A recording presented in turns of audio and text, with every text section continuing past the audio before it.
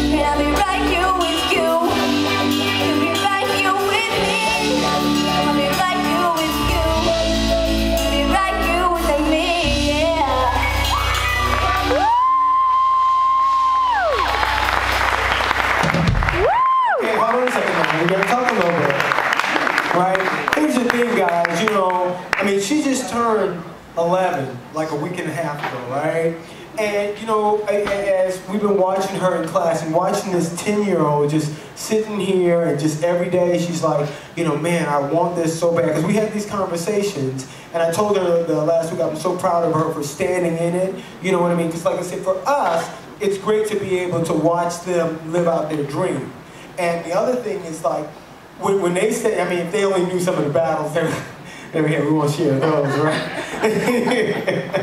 but the, the great thing is that you get to come out here and do everything that you've been working on. And, you know, you guys really got to get, for, for these kids, they're doing it at a level of their dream that is just really outstanding. So really just, you know, continue to be supportive and giving them a wonderful round of applause again. So I really applaud you. 11 years old, man. So thank you, Nona. All right?